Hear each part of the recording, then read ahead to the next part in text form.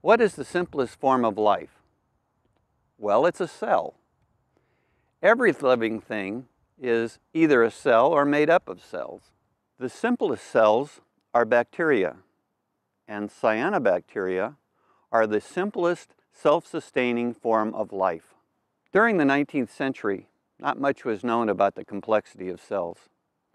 Thanks to many groundbreaking discoveries, we now know that the simplest cells are not simple at all. Join us now as we dive into one of the simplest forms of life.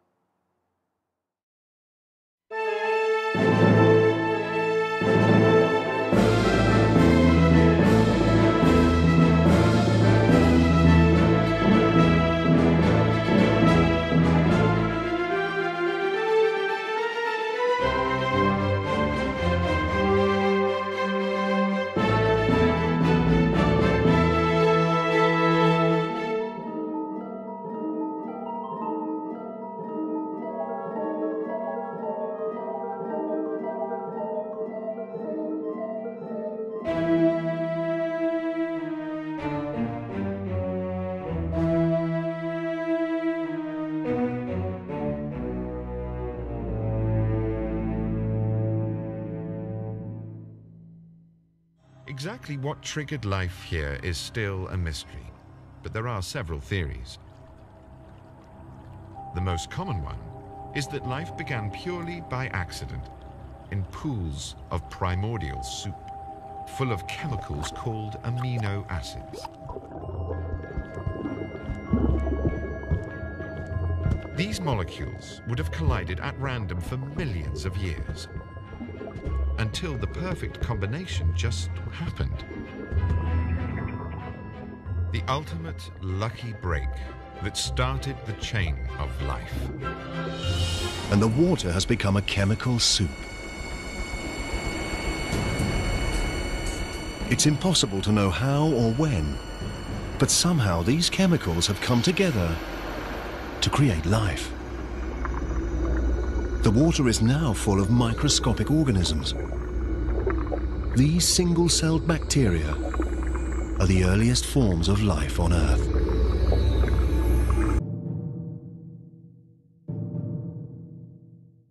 But it is an astounding fact that starting from nothing more complicated than rock and sand, the process of evolution by natural selection gave rise to eventually us with big brains capable of understanding the process that brought us into existence.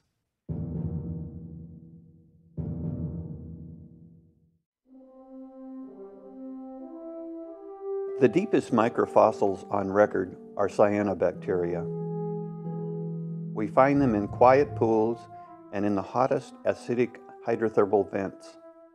Even the simplest free-living organisms require the tiniest organic machines imaginable, nanomachines.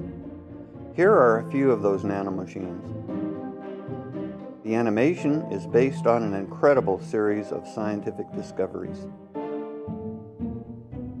The bacterial cell membrane separates the working machinery inside the cell from a hostile environment. This flexible phospholipid bilayer self-assembles. The cell itself generates all of these phospholipids, approximately 10 million per cell. Their heads love water and their tails hate it. Add some of the nanomachines which fit in this layer and you have the start of a simple living cell importing raw material and exporting waste.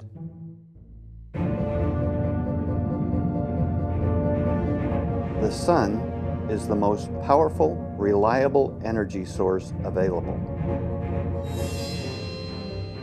Cyanobacteria have rafts of nanomachines working closely together to harness light.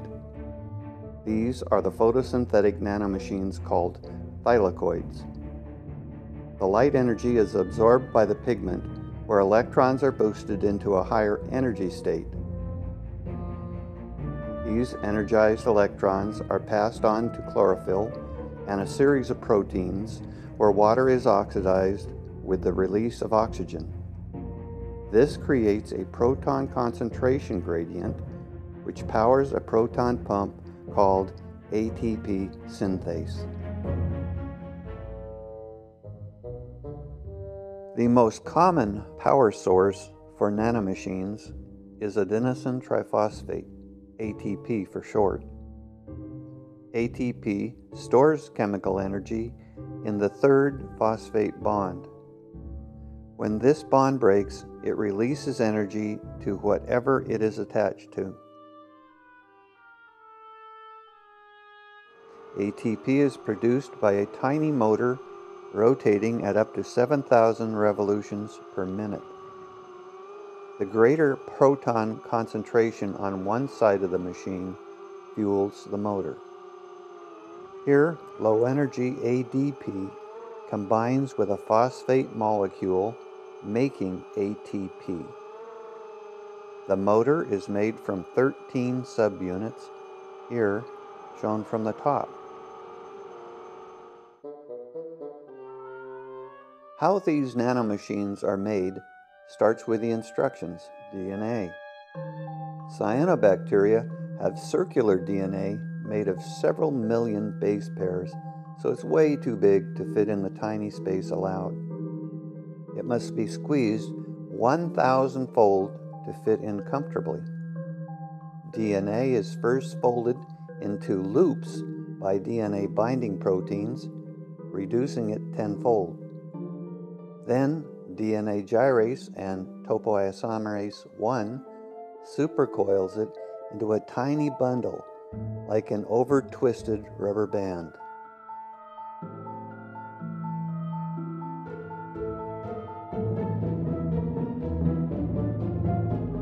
Reproduction is essential for life. The complexity is astonishing. DNA is made of a pair of complementary strands. One strand is referred to as 3' 5' and the other 5' 3'. The 3' 5' strand is copied by DNA polymerase II. Enzymes called primases mark the reverse strand at short intervals, and DNA polymerase III fills in the gap. These are called Okazaki fragments. DNA polymerase I fills in the small gaps left by the primases. And finally, the DNA ligase confirms all bonds. DNA is replicated at up to 500 nucleotides per second. Approximately 1 in 10,000 nucleotides, DNA polymerase makes a mistake.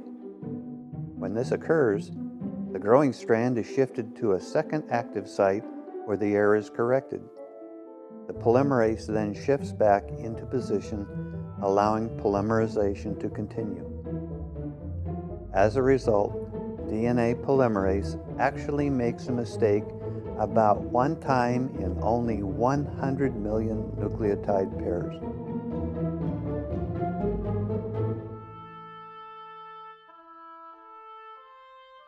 The regulation of protein synthesis in cyanobacteria is in the DNA code itself.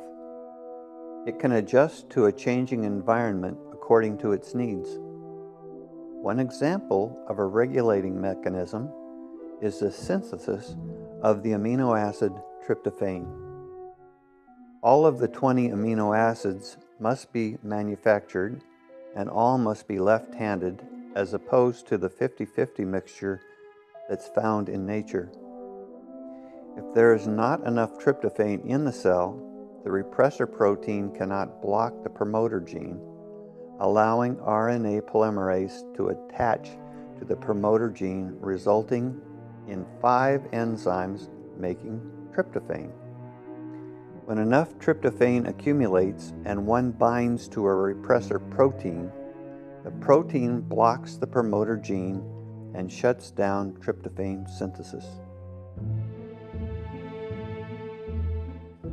The genes for the proteins just described are copied by the nanomachine called DNA-directed RNA polymerase, which makes messenger RNA called mRNA. Shown here, the copied gene is stretched out to the left.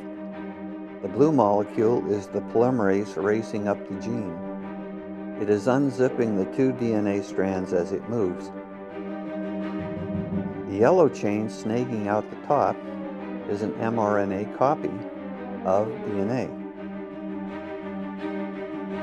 RNA bases flow through the intake hole. Like amino acids, nucleic acids, the building blocks of DNA and RNA, have to be made by the cyanobacteria itself, but only right-handed versions. You are watching the process called transcription in real time.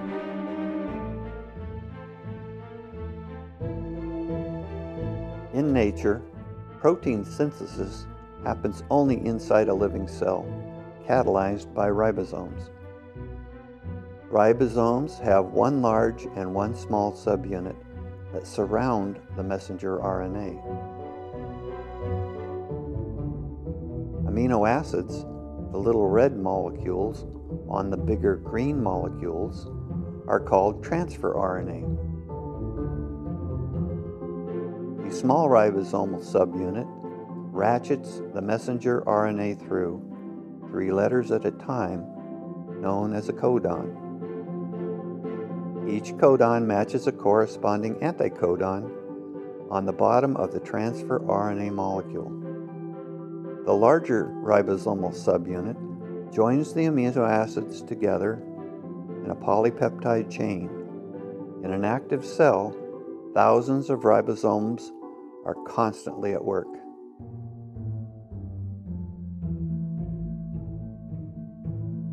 Inside a crowded cell, polypeptide chains need help folding into their active shape. Protein folding is aided by a class of proteins called chaperones. ATP activates chaperones, causing them to bind and bend the newly made chain into an active protein.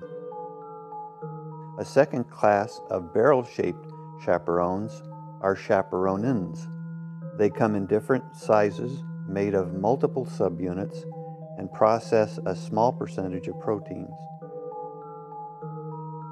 An unfolded or misshapen protein is inserted into the cavity with the assistance of ATP. ATP causes the chaperonin to expand, fold, and release the protein spontaneously. But it is an astounding fact that starting from nothing more complicated than rock and sand, the process of evolution by natural selection gave rise to eventually us, with big brains capable of understanding the process that brought us into existence.